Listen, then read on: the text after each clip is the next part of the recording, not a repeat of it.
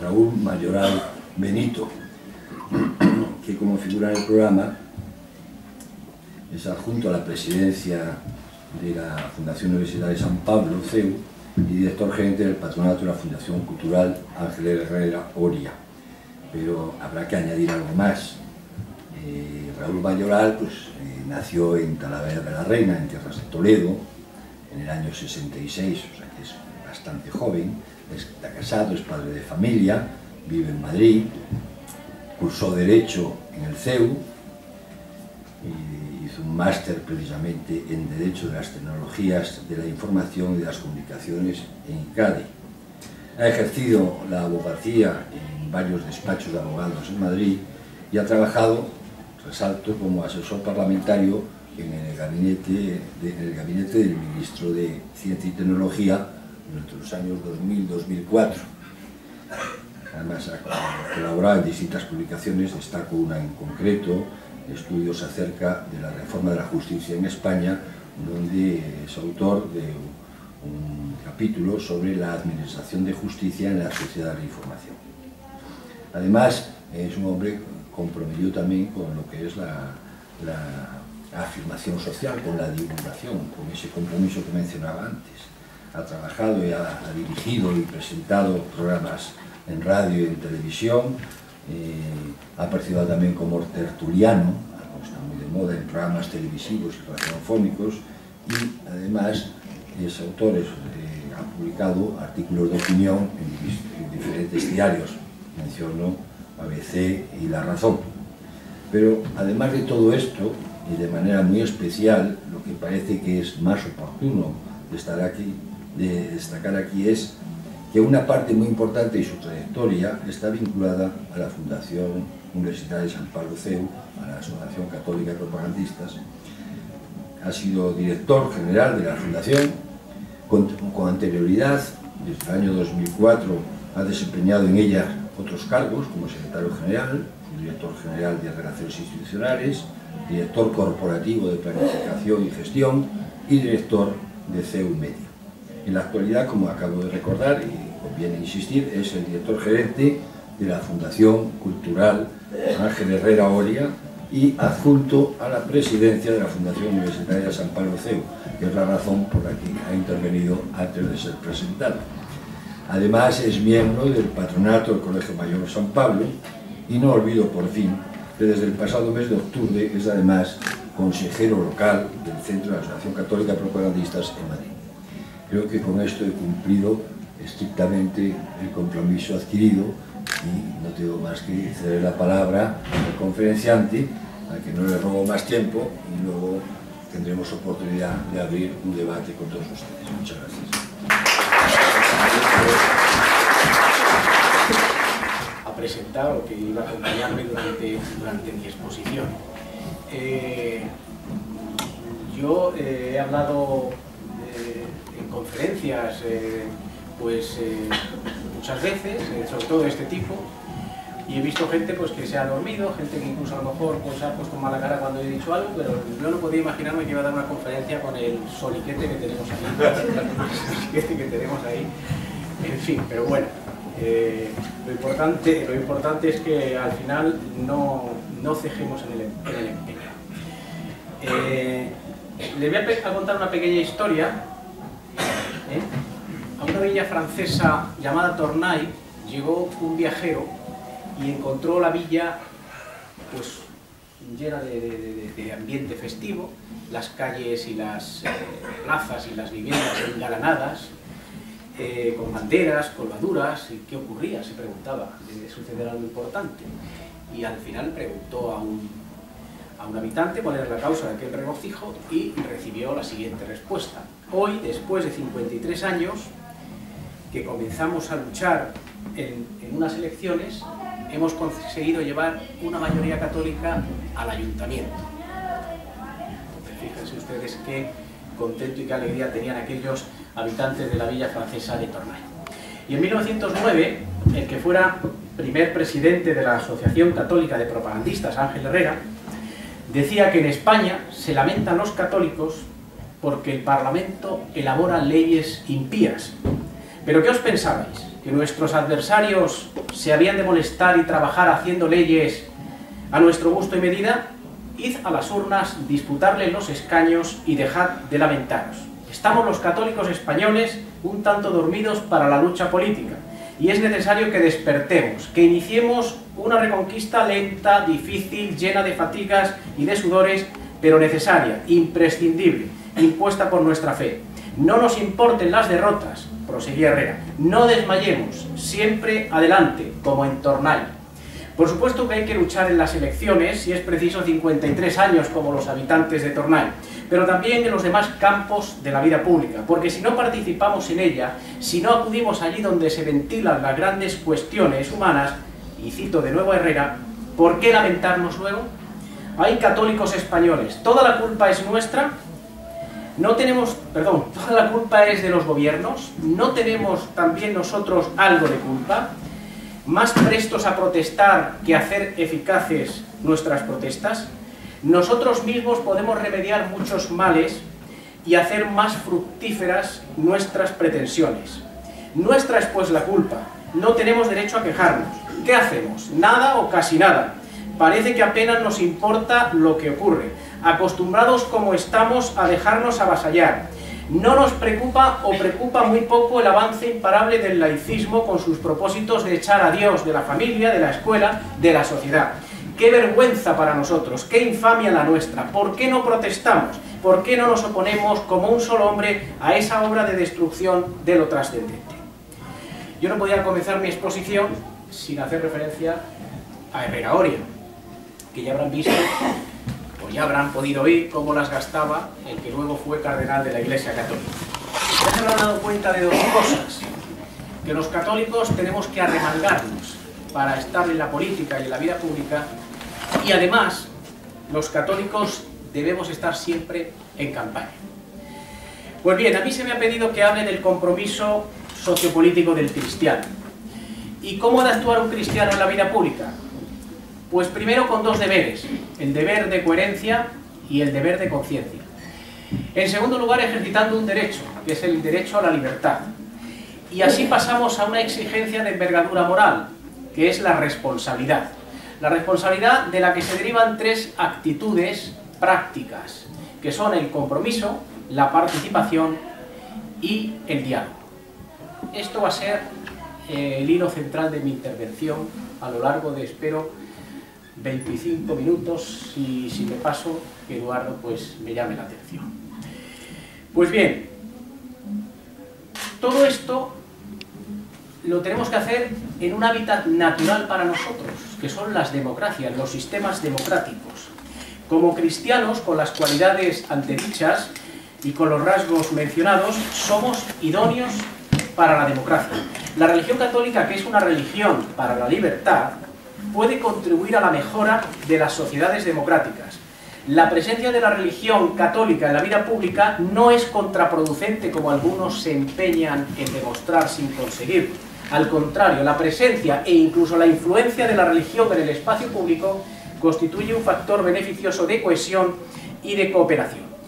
Y llegados a este punto, yo voy a desmontar, vengo a desmontar una mentira, destruir una farsa, y es la de que los católicos somos enemigos de la democracia que la Iglesia y los católicos no nos encontramos a gusto o cómodos en la democracia, que la fe católica es incompatible con el progreso humano y con los derechos humanos, que en suma Dios debe estar ausente de la vida pública en las modernas sociedades democráticas. Y a la vez que vamos desmontando esa mentira, esa farsa, es decir, a la vez que vamos eh, desmontando los grilletes de la mentira, vamos a ir liberando la verdad. La verdad que no es otra la de que el pensamiento cristiano ha contribuido a un ajuste progresivo del ideal de la democracia, que la democracia necesita para su legitimación de una sólida base moral, que la Iglesia Católica contribuye a la defensa y garantía de los derechos humanos, que los católicos aportamos valores positivos que contribuyen a la mejora y al perfeccionamiento de la democracia como sistema político de gobierno. Yo no he venido para romper la ley, he venido para perfeccionarla y mejorarla, dice el Evangelio de San Mateo y que, en fin, Dios tiene cabida en las sociedades democráticas. Y hay un dato para tener en cuenta. La Iglesia Católica es, eh, no es democrática, pero es demócrata.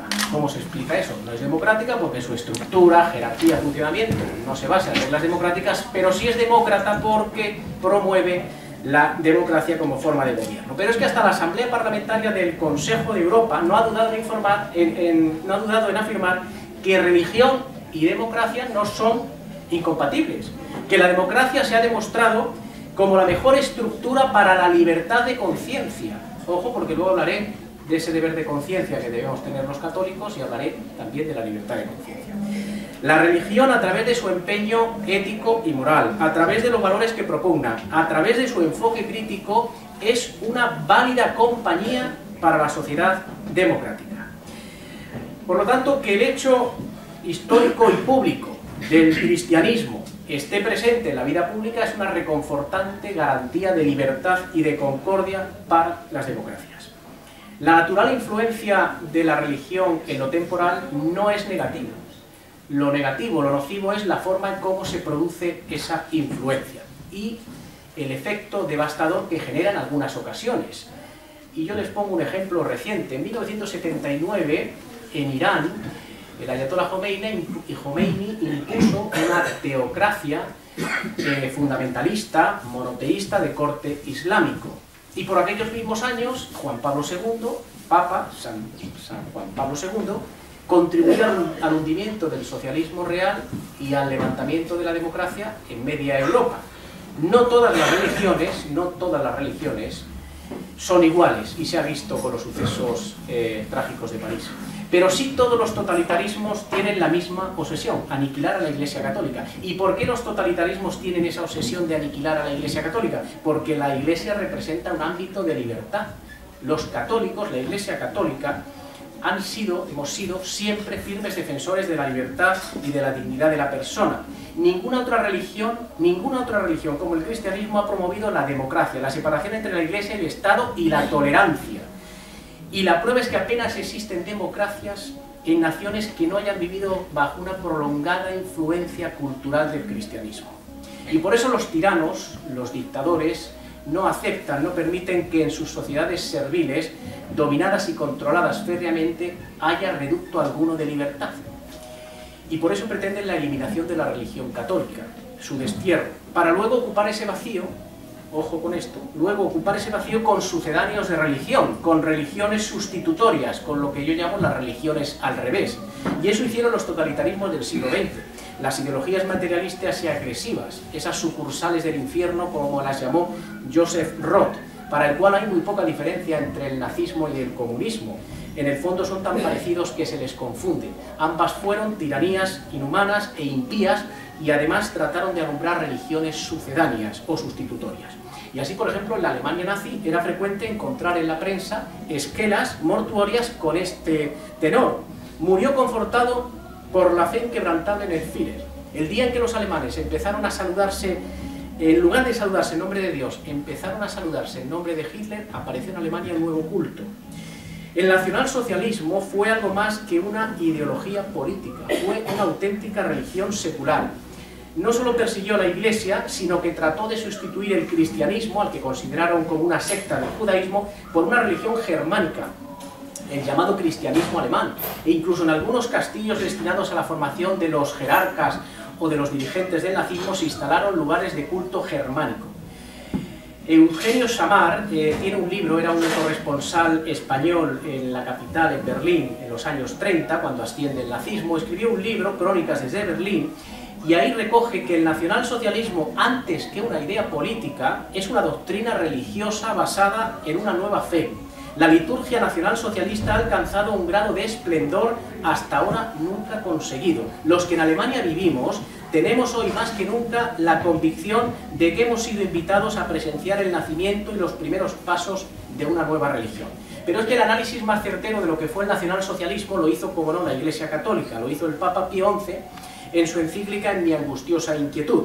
Publicada en alemán el 14 de marzo de 1937, el Papa denunciaba la incompatibilidad entre la religión católica, entre el catolicismo y los presupuestos racistas y paganos del nazismo. El Santo Padre dejaba bien claro que el nacionalsocialismo era un movimiento pseudo-religioso, una idolatría completamente inaceptable entre hombres, hombres civilizados.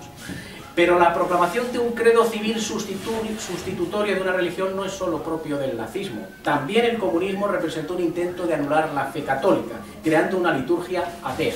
El socialismo soviético eligió un mundo donde la fuerza y el poder lo eran todo y el hombre no era nada. Un total desprecio por la humanidad, por la justicia, por no mencionar el amor al prójimo. El apoyo al comunismo en la URSS no solo se derivaba del miedo o del terror, sino de una fe e incluso de un amor ciego.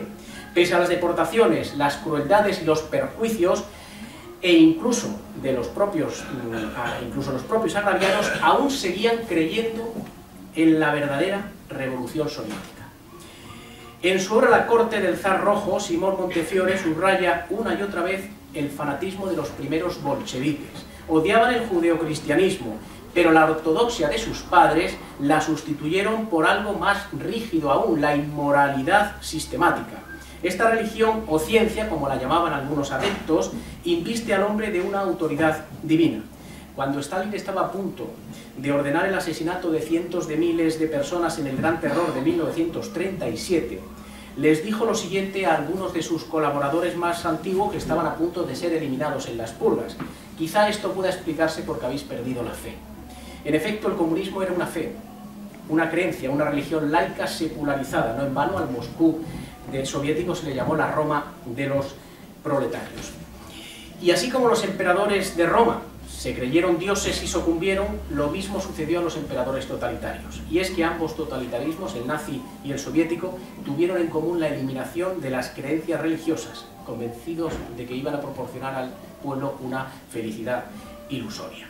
Las dos tiranías hicieron de la crítica de la religión la primera de todas las críticas, por eso fueron legatarias estas dos eh, tiranías de aquellas viejas teorías de Grocio que propugnaban un derecho natural como si Dios no existiera. Pero ojo porque hoy nos acecha otra religión sustitutoria, otra religión al revés, que es el laicismo. El laicismo no es una postura neutral, el laicismo es la negatividad de la religión, es un principio totalitario que pretende instrumentalizar el orden temporal para conseguir fines ideológicos hasta absorber el poder espiritual o el orden espiritual. El laicismo es una religión, es la religión del Estado, y nos previene de ello el que fuera premio príncipe de Asturias en el 2008, Ezbetan Todorov, dice así, está emergiendo una nueva religión política con la pretensión de controlar las conciencias, otra vez la conciencia. El territorio de la nueva religión supera con creces al de la antigua, por lo que también aumenta lo que el individuo eh, tendrá que defender. El poder público no debe enseñar sus opciones haciéndolas pasar por verdaderas, Tampoco le corresponde al pueblo pronunciarse sobre lo que es verdad o mentira, ni al Parlamento deliberar sobre el significado de hechos históricos del pasado, ni al gobierno decidir lo que debe enseñarse en la escuela. La voluntad soberana del pueblo topa siempre con la verdad que está por encima de las leyes.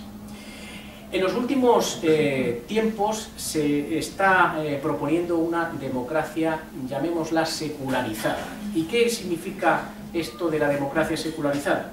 Pues es una visión de la autonomía de las realidades temporales, la política, la cultura, la ciencia, que eh, prácticamente excluye a la visión religiosa de la vida, o por lo menos la restringe.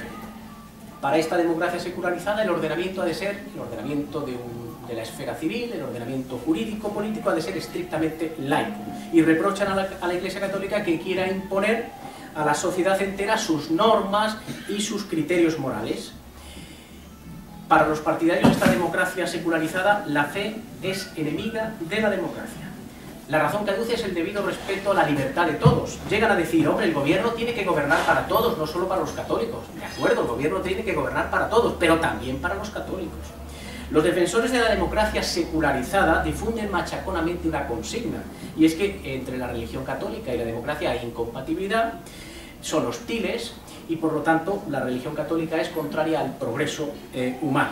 Y eh, esta democracia, o los partidarios de esta democracia, lo que pretenden es desterrar a Dios y a la religión a la esfera privada. La consecuencia de esta falacia es que los ciudadanos católicos pasamos a ser ciudadanos de segunda categoría. No somos genuinos ciudadanos. Y para poder ser ciudadanos tenemos que renegar de Dios. ¿Y qué tiene que decir la Iglesia? ¿Qué tenemos que decir los católicos ante esta ocurrencia de la democracia secularizada? Pues que la Iglesia no tiene poderes para organizar la sociedad civil según la recta razón, pero es que tampoco lo desea. no intenta atribuirse ni reclamar una autoridad que no le corresponde, sin embargo sí que reclama a la Iglesia el derecho a opinar sobre las realidades políticas desde el punto de vista moral para orientar en este caso a los católicos, pero también a cualquier otra persona que desee orientarse o que desee tener una formación de su conciencia o una concepción del bien moral determinada. La Iglesia está dispuesta a respetar las opiniones de todos, a aceptar las leyes justas de la autoridad legítima como cualquier otro ciudadano. No pide privilegios, no pide exenciones de ninguna clase. Ahora lo que no está dispuesta es a, verse excluida de la democracia ni a vivir bajo la presión de un laicismo hostil y ni a que los católicos, como decía, sean considerados ciudadanos de seguridad. Los que hemos estudiado Derecho sabemos que hubo una persona, hubo un pensador, Alexis de Tocqueville, que en su obra Democracia en América dijo cosas que echan por tierra toda esta farfolla de la democracia secularizada. Tocqueville vio en América algo inédito para un europeo, que la religión y la libertad existen juntas, una religión políticamente débil, pero moralmente fuerte e influyente en la vida social y política. ¿Y cuál es el secreto de este complemento, de esta convivencia? Pues la completa separación entre la Iglesia y el Estado. Pero eso no significa que la religión tenga que ser considerada como un hecho privado, no, es un hecho público y además es una institución pública capaz de formar hombres moralmente libres, capaces de enfrentarse y de vencer los males que aquejan y asolan al bien común. Por eso que la Iglesia Católica asuma y sobre todo promocione la confesionalidad del Estado no significa que no tenga nada que decir, todo lo contrario.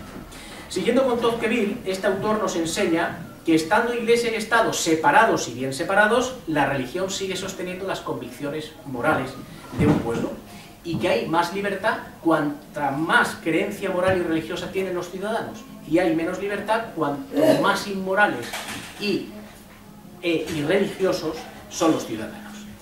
Tocqueville se pregunta, ¿qué sociedades han llevado a cabo mejor la democracia? Y él mismo responde, pues las sociedades más religiosas o más cristianas son las que mejores oportunidades y condiciones ofrecen al desarrollo de la libertad. Por lo tanto, la religión es una necesidad civil y social para la salvaguarda de la libertad. Parece imposible, siguiendo a Tocqueville, desvincular democracia y religión, libertad y religión. Pero no hay que, remontarse a Tocqueville para hablar de la, eh, que para decir que la religión tiene eh, influencia en la vida pública. Les cuento una anécdota, una anécdota sobre el presidente Kennedy y su persuasivo argumento en defensa de la influencia de la religión en la vida pública. En 1960 Kennedy era candidato a la presidencia de los Estados Unidos y em, iba, estaba haciendo campaña electoral y eh, la convención sureña baptista había cuestionado que un católico llegase a la Casa Blanca. Y eh, Kennedy en un discurso famoso dijo, yo soy el candidato mejor dicho, yo no soy el candidato católico a la Casa Blanca. Yo soy el candidato del Partido Demócrata a la Casa Blanca, que además es católico. Son dos cosas diferentes. Y continuó diciendo Kennedy, si yo pierdo esta elección por las grandes cuestiones que afectan al país, pues volveré a mi escaño satisfecho de que hice todo lo que pude y de que he sido juzgado en buena lid. Pero si esta elección es decidida sobre la base de que 40 millones de estadounidenses han perdido su oportunidad de ser presidentes el día de su bautizo, entonces toda la nación será perdedora ante los ojos de los católicos y no católicos del mundo, ante los ojos de la historia y ante los ojos de nuestro pueblo.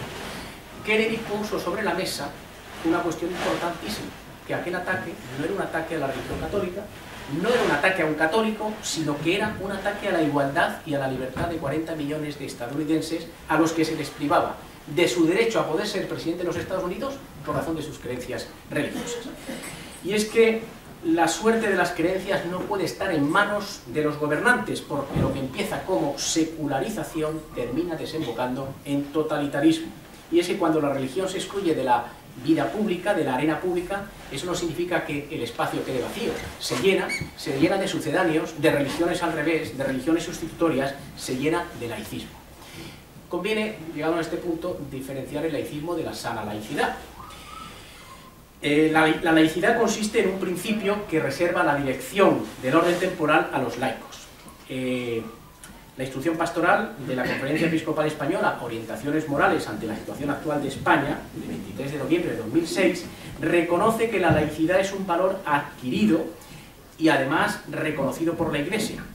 que implica que la autonomía de la esfera civil y política es necesario subrayarla y que en ningún caso se puede impedir que los católicos puedan ofrecer su testimonio sobre el bien común. En la visita apostólica que Benedicto XVI hizo a Francia hace unos años, ahí se puso de manifiesto la distinción entre la laicidad y el laicismo.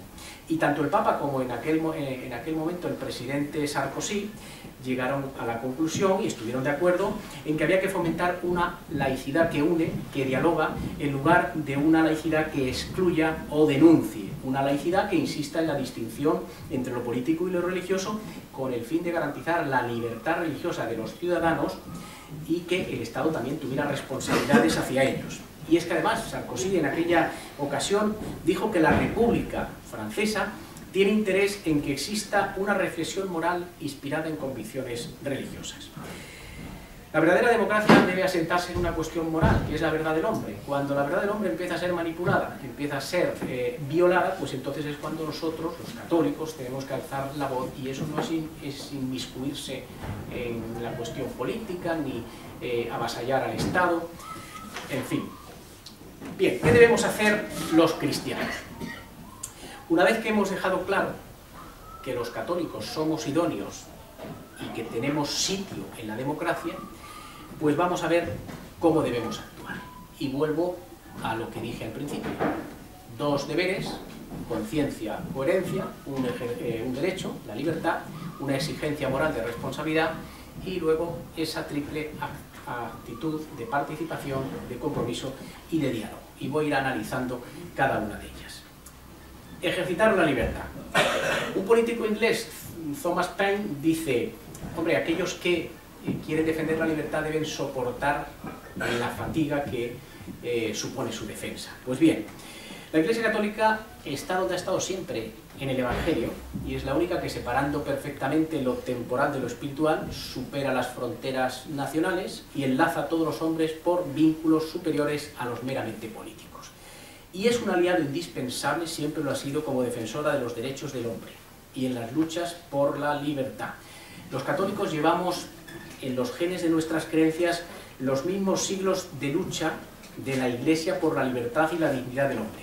Es un pedigrí como nadie de libertad, de igualdad y de fraternidad, aunque haya existido eh, el caso Galileo, aunque haya existido los autos de fe, aunque haya existido la quema de brujas. El saldo general en la historia es positivo. El Concilio Vaticano II, al reconocer la autonomía de las cosas temporales, supo decir a sus fieles que su lugar en la sociedad está, está en dar la cara por los valores positivos, incluidos los de la verdadera democracia. Pero además Benedicto XVI dijo que los católicos tienen derecho a que se oiga su voz, ya lo hemos conseguido, ya sí que se nos oye, ¿eh? para, para la música. Digo que Benedicto XVI dijo que los católicos tenemos derecho a que se oiga su voz en el debate público de la sociedad, en todo, sea enseñanza, clonación, hasta el precio de las flores, decía Benedicto XVI. Es un derecho que les asiste por encima de los eslóganes laicistas, es a la vez un compromiso marcado a fuego en sus creencias, y el que se lo permita a los poderes democráticos es un imperativo sustancial en la pura doctrina democrática. Deber de conciencia. Hay una novela, Dime quién soy, de Julia Navarro, y la autora pone en boca de uno de sus personajes, un científico comunista, lo siguiente. La conciencia es un invento de la Iglesia. Es la manera fácil de tener dominada a la gente. Cuando ese científico comunista eh, deserta de la Unión Soviética, dice algo ya diferente. Tener conciencia es un inconveniente, y yo, amigo mío, lo tengo. Nunca he podido desprenderme de ella. Soy ateo, he borrado de mi mente todas las historias que mis padres me contaron de niño y las que el Pope se empeñaba en que aceptáramos como única verdad. No, no creo en nada, pero me quedó grabada una conciencia en algún lugar de mi cerebro.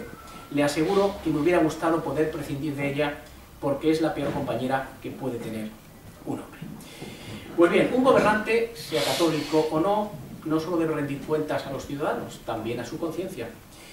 Y los católicos debemos, por ejemplo, oponernos al laicismo por todos los medios legales y legítimos. Y la objeción de conciencia es un medio. Antígona es la primera objetora de conciencia porque frente a Creonte obedece a Dios antes que a los hombres. Antígona explica a Creonte que ha desobedecido las leyes humanas porque no pueden prevalecer sobre las leyes divinas, y se muestra muy orgullosa de ello, de esa desobediencia, y, sin temor a las consecuencias. Hoy prevalece un gusto irreprimible por desterrar a Dios, no solo de la vida pública, sino también de los centros oficiales y de las conciencias. ¿Y cómo pueden decir las constituciones que el domicilio es inviolable si la conciencia no lo es? Deber de coherencia. Recordemos siempre que es consustancial al cristiano manifestar su fe al exterior, como si fuera un testigo. La dimensión pública de la fe es eso, ir por el mundo y ser mis testigos.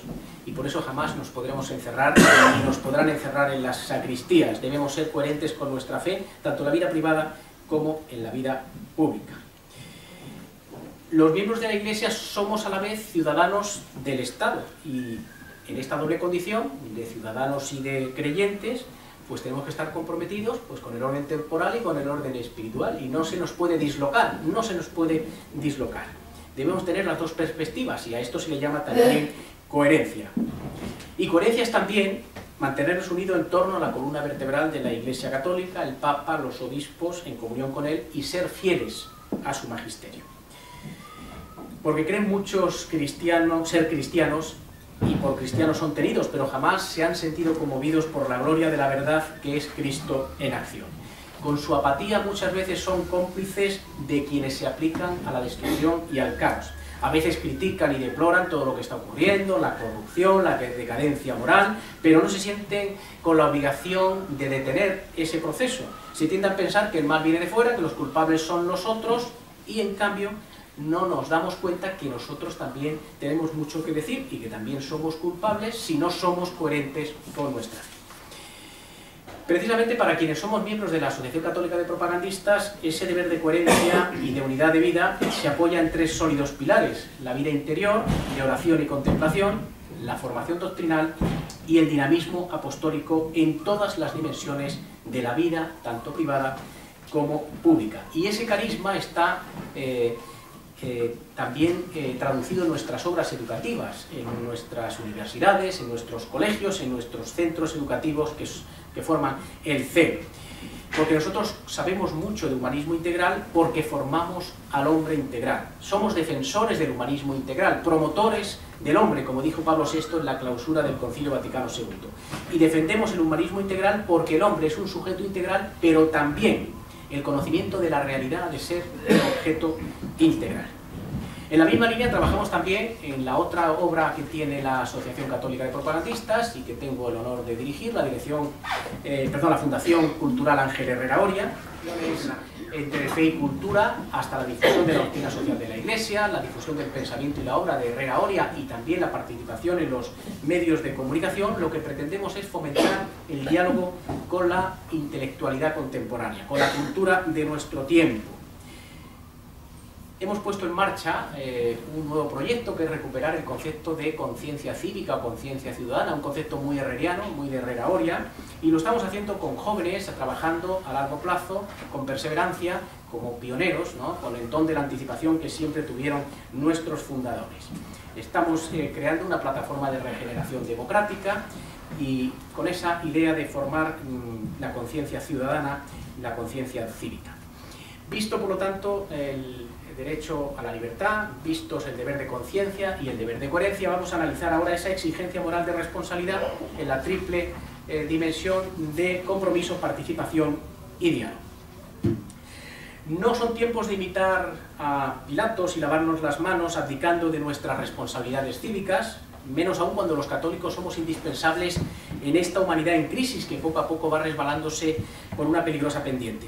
Y lo somos, somos indispensables porque somos inmunes a esas falsas ideologías que tratan de anegar el mundo con el diluvio materialista y ganar terreno a través de una vastísima siembra de odio y de relativismo.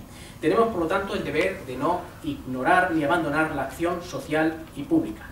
En la encíclica Pacem in Terris de Pablo VI se considera que la participación de los ciudadanos en la política, en definitiva en la vida pública, es una exigencia cierta de la dignidad humana.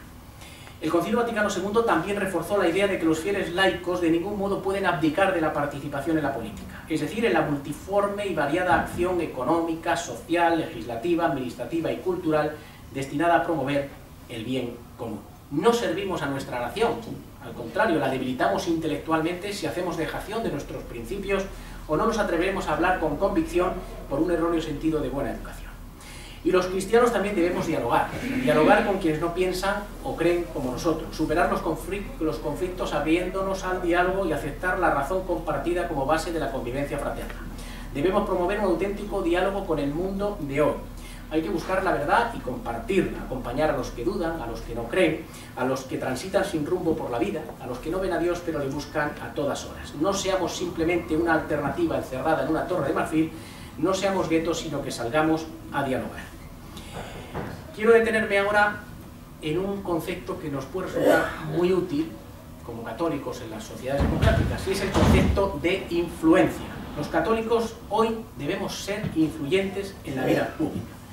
¿Cómo se explica que el primitivo cristianismo tuviera esa fuerza arrolladora que le permitió derrumbar un imperio como el romano, imperio hostil y además en situación desfavorable? ¿Y cómo se explica que hoy nuestra fuerza colectiva sea mínima? Pues bien, no tengamos miedo a ir contracorriente, no tengamos eh, miedo a ser coherentes y no nos abrume el ser minoría si lo somos de forma activa y fervorosa en la creación de una cultura fecunda y vitalmente humana. Seamos ese grupo de hombres que hallándose en sombra busca la luz con esfuerzo y confianza. No podemos ni debemos callar porque nuestro silencio sería entendido como ausencia de convicciones y de soluciones ante tanta desazón, social. La doctrina social de la Iglesia nos dice que ninguna opción política puede satisfacer plenamente los eh, criterios del cristianismo.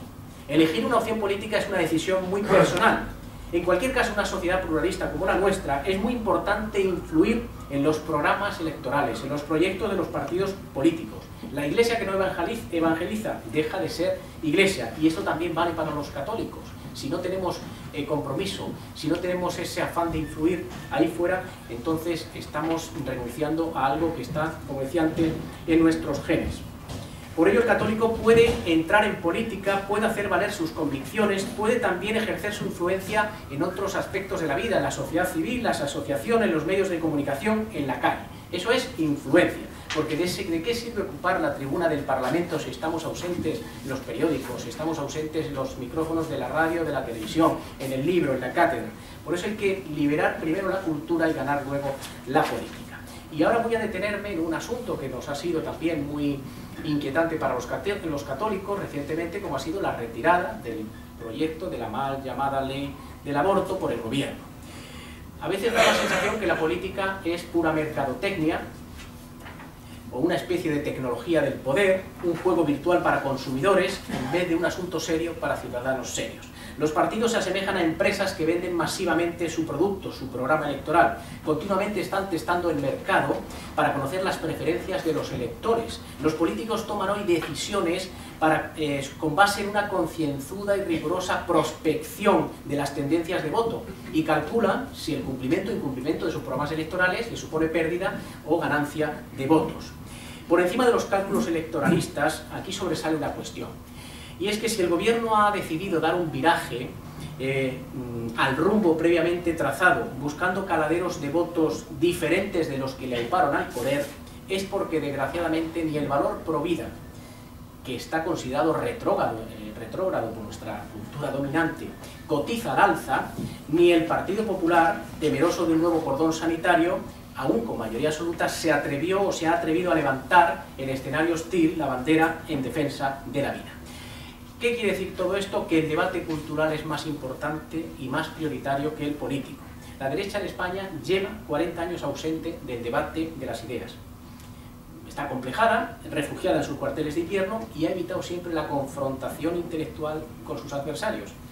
Ante el binomio regeneracionista de Costa, escuela y despensa, cultura y economía, la derecha siempre ha escogido su asignatura preferida, sanear las cuentas públicas, y ha dejado a la izquierda que moldea a su antojo la sociedad. Y esa renuncia continua a entablar la batalla cultural es la que impide al Partido Popular, al gobierno, transformar en moral de victoria lo que es una moral de derrota a pesar de dos mayorías absolutas. Hay que llegar a la conclusión de que solo desbrozando el terreno de la cultura, solo eh, limpiando las malas hierbas de la cultura podrán germinar semillas que proporcionen frutos políticos.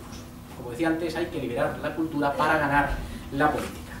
Para ir terminando, les voy a hablar del radiomensaje de Pío XII en la Navidad de 1944, la sexta Navidad de la Segunda Guerra Mundial. El Papa hizo una encendida defensa de la democracia como sistema eh, de gobierno eh, que, mm, bueno, pues el menos malo, ya lo dijo también Churchill.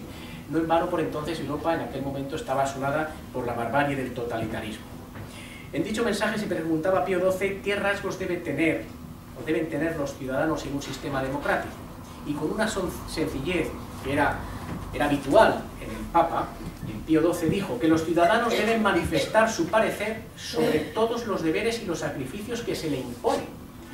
No verse obligado a obedecer sin haber sido oído antes. Esto, esto exige poner al ciudadano cada vez más en condición de tener una opinión personal propia y de manifestarla y hacerla valer de manera conveniente para el bien común. Y visto los rasgos en los gobernados, ¿qué caracteres debe reunir en democracia quienes ejercen el poder público? y Pío XII dijo que habrían de ser hombres espiritualmente eminentes y de carácter firme, que se consideren como los representantes de todo un pueblo, pero no como los mandatarios de una muchedumbre. Han de ser hombres no limitados a una profesión o a una condición determinada, sino imagen de la múltiple y variada riqueza de todo el pueblo. Hombres de juicio justo y seguro, de sentido práctico y ecuánime, coherentes consigo mismo en todas las circunstancias. Hombres de doctrina clara y sana, de designios firmes y rectilíneos, sobre todo capaces de ser guías y dirigentes. Voy terminando ya. Los gobernantes no están para ofrecer mesianismos falsos, ni deben ser forjadores de, vanas ilusiones, ni tampoco vendedores de humo como estrategia de clientelismo para lograr mantenerse en el poder o para alcanzar el poder, desde desde el que además son incapaces de servir a la comunidad. Al contrario, los gobernantes han de ser promotores del orden, del progreso, de la justicia, de la paz, y en ese cometido necesitan la participación subsidiaria y solidaria de todos los ciudadanos en esa maravillosa tarea de edificar un mundo más humano y fraterno. Todos debemos tener la audacia de ser agentes activos a favor de los más desfavorecidos y vejados, salir a las periferias, periferias como nos pide el Papa Francisco.